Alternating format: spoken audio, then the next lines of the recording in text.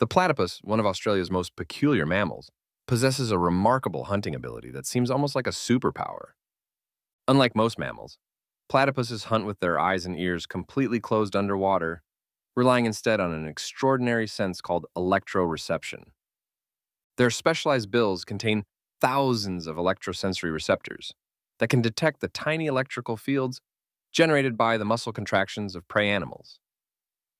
When a platypus sweeps its bill through water or mud, these receptors send signals to the brain, creating a detailed electrical map of its surroundings. This incredible adaptation allows platypuses to locate prey with astonishing precision, even in complete darkness or in murky water where visibility is zero.